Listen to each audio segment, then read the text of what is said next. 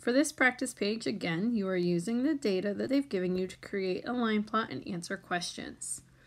So it says the survey question was, how many stuffed animals do you have? Then you'll see the table with all of the kids' names and their answer. In box one, it says make a line plot to show the data. So you'll use that box to create your line plot.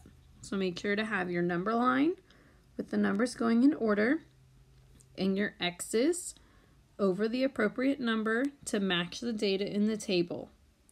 Make sure to keep your X's the same size and the same distance apart so that it's accurate. Number two says Gregory and Henry combined their animals. How many do they have?